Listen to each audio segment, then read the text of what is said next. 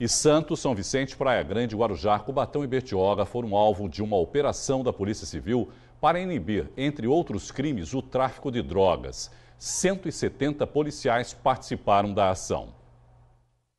A operação durou 24 horas e terminou na tarde de hoje. Resultou na apreensão de quase 100 quilos de drogas, entre maconha, cocaína, crack e êxtase. Armas de fogo de grosso calibre também foram apreendidas.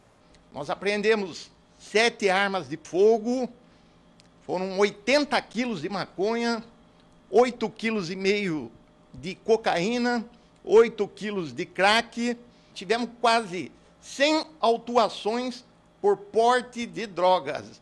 O porte de drogas ainda é crime, pessoal.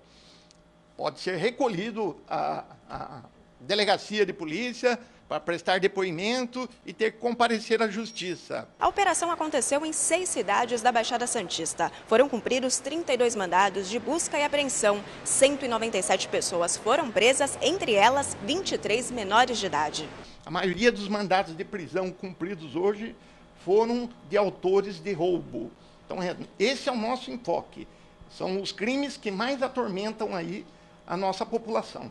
Durante a operação também foram apreendidas essas embalagens de frango, macarrão e produtos de limpeza roubadas no último dia 15. Elas foram encontradas em um restaurante em Guarujá.